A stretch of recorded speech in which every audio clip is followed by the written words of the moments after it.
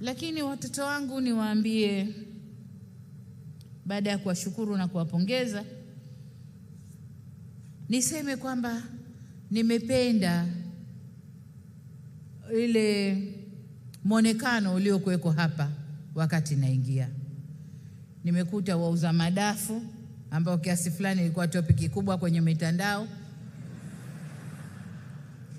muuza madafu, muuza maji ya miwa, lakini wenye mitumba, mamantilie, nani, sekta zote ziko hapa, na hii ni kuonesha kwamba wamekuja kwa mama kusema mama asante, na mimi nawaambia niko nao.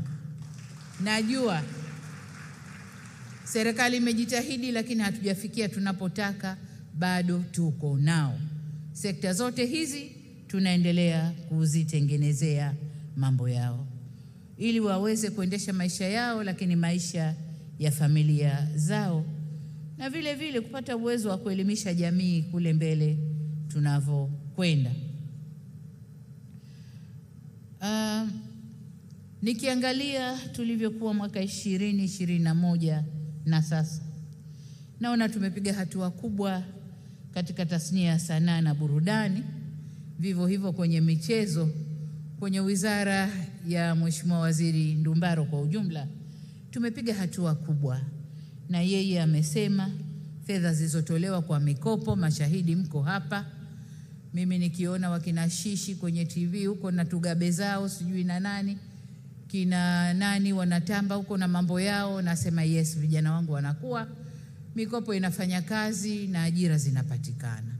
Sasa kama alivyosema waziri, tumetenga tena fedha nyingine za kuendeleza wasanii na tutaendelea kufanya hivyo.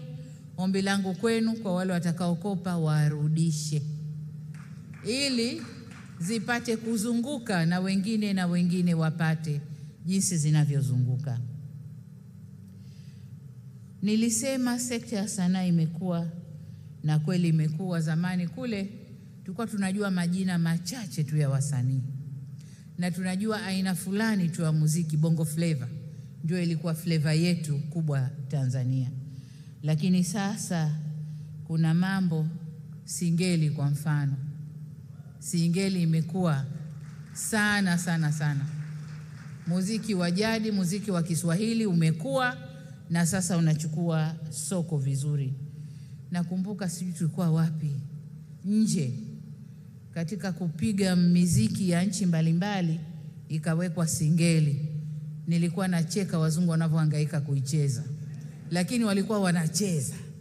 Kwa hiyo tumekuwa naambiwa kuna mapiano, sijui mapiano, sijui hata kuitaja, na kina misomisondo, yote ni mi ni miziki ambayo sasa inajaribiwa kuwekwa kwenye soko, na kwa bahati nzuri soko limeitikia vyema. Kwa hiyo mimi niwatie moyo, niwatie moyo waendelee kuibua miziki, tunayo mingi. Leo tulikuwa kwenye ule mkutano, kikundi kilichopangwa pale wametumia ngoma ya Kigogo na wameimba vizuri, maneno ya Kizungu, muziki wa Kigogo, na umekwenda vizuri sana na watu wote wamefurahi ndani ya ukumbi. Kwa hiyo tunayo mambo mengi Tanzania, tuna utajiri mkubwa, naomba tuutumie, tuufungue ili dunia ijue utamaduni wetu. Lakini pia tumeshuhudia kukua kwa sekta ya tamthilia. Tamthilia nazo zimekuwa, sinema zetu inafanya kazi nzuri sana kukuza vijana wetu katika tamthilia. Kwa hiyo niwapongeze wote wote, sekta zote kwa ujumla wenu.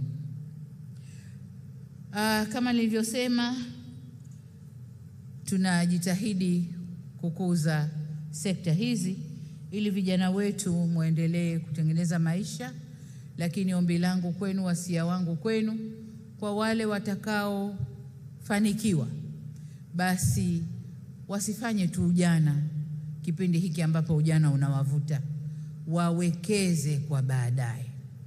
Wekezeni katika sekta mbalimbali, kwa sababu wanaoimba si muda wote tutaimba. Tafika pahali sauti zinagoma, kuwe kuna kitu kingine kinakusaidia. Wanaofanya filamu hivyo hivyo. Kwa hiyo wekezeni kwenye sekta mbalimbali ili maisha kule mbele yaende kuwa mazuri. Uh, watoto wangu, mambo mengine niliyotaka kusema ni ambayo waziri ameyasema, mafedha tuliyoyaweka kwenye sekta hii, lakini nataka niseme kwamba uh, tunapofungua nchi wageni wanakuja kwetu na sisi tunakwenda kwao, na mara nyingi ninapokwenda kwao huwa nafatana na jopo la wafanyabiashara. Sasa nataka kugeuka kidogo, nataka sasa niwe nachukua wasanii.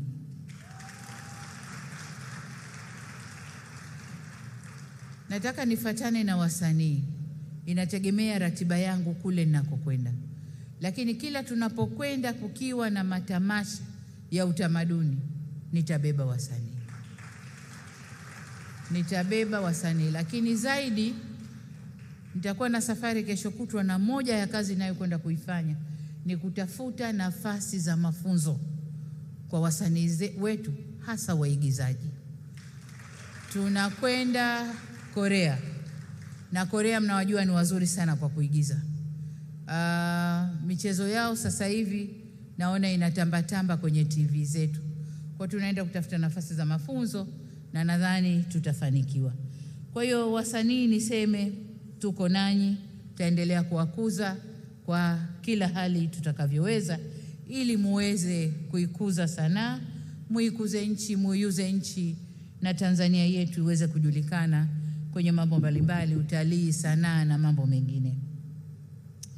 Nikihitimisha, sababu mnamtaka Harmonize aje hapa kufanya mambo yake, niseme nafurahi kwamba mpaka sasa watoto wangu wasanii mmefikia pazuri.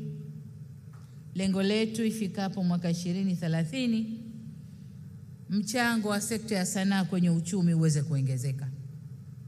Kuna nchi zinaendeshwa na sekta hii, sanaa, utamaduni na michezo na sisi tunajielekeza huko kwamba sekta hii iweze kuzalisha na ichangie katika pato la taifa.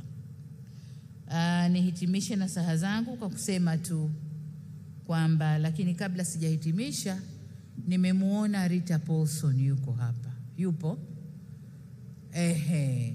Nataka nikushukuru nawe kwa mchujo ule unaopitisha kule chini, ule mchujo unatusaidia unatusaidia kuwaibua wasanii wazuri zaidi. Kwa hiyo nakushukuru na timu yako mnayofanya ile kazi. Salama yuko hapa? Hajaja? Haya, msalimieni. Nawashukuru nyote kwa kazi mnayoifanya, na hii ndiyo matunda ya kazi mnayoyafanya, na hata pale mnapowakataa wanapata ari ya kwenda kujifunza na kurudi tena. Kwa hiyo tunawashukuru sana sana. Niseme vijana wa sanaa, vijana wangu wa sanaa zote, michezo, kila kitu, mpo katika moyo wangu, na jukumu langu ni kuijenga kesho yenu bora, nami nitajitahidi kufanya hivyo kwa hamasa kubwa. Niwasihi, endeleeni kushirikiana na serikali na kufanya kazi zenu kwa bidii na maarifa zaidi. Kubwa zaidi, acheni maugomvi. Acheni kuzodoana, saidianeni, vutaneni, saidianeni, mkuwe kwa pamoja. Mkikuwa wengi zaidi, Tanzania imekuwa zaidi. Nyinyi ni vijana wa Kitanzania, mmezaliwa Tanzania, mmekuwa Tanzania, mnakuzwa ndani ya Tanzania. Kwa hiyo acheni mivutano, fanyeni kazi, chapeni kazi, Tanzania ikuwe na sekta yenu iweze kukua. Baada ya kusema hayo, nawashukuru tena, asanteni sana kwa kunipa outing leo. Mmenitoa nje leo, nawashukuru sana. Kwa hiyo asanteni kwa kunisikiliza.